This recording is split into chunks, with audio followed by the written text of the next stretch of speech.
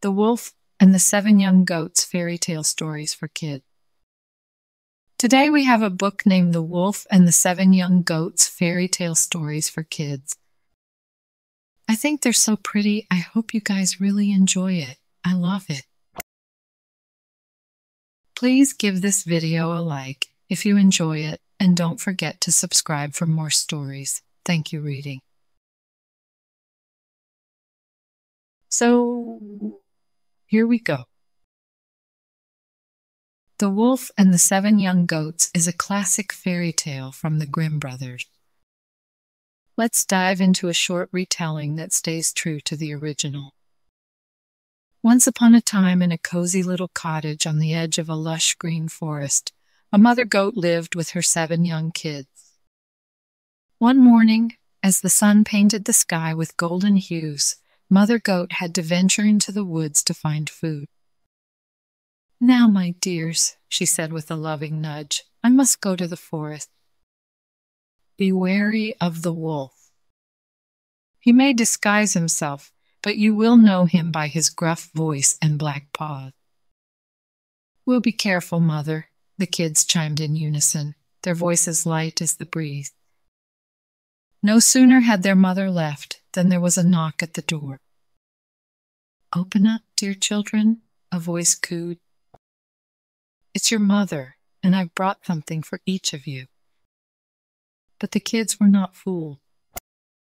You're not our mother. She has a soft, sweet voice.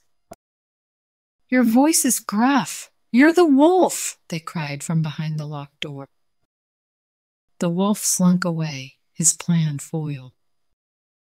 He swallowed a lump of chalk to soften his voice and returned.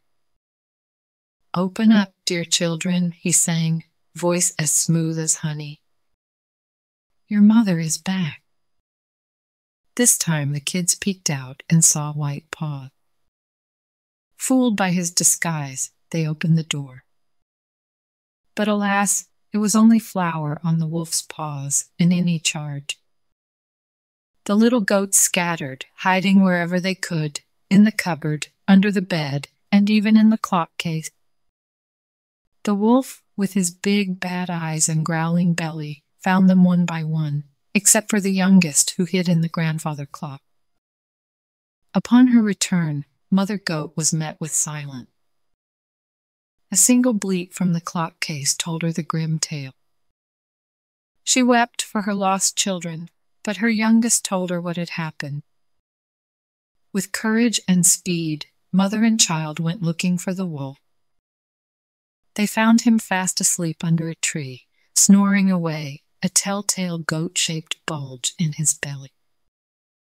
Quick, my child, fetch me some scissors, needle, and thread, Mother Goat whispered. She cut the beast's belly, and one by one, out popped the kids, safe and sound. They filled the wolf's belly with stones, and Mother Goat sewed him up without him moving an inch. When the wolf awoke, thirsty from the weight in his belly, he stumbled to a well and fell in with a splash, weighed down by the stone. The family watched, and when they were sure he'd not come back, they danced around the well, singing, The wolf is gone, the wolf is gone. And from that day on, the little goats played freely and they never forgot the lesson they learned. Be cautious and clever, and always listen to your mother's advice. The end. Good job, friends. Thank you so much for reading with me. Bye, I'll see you next time.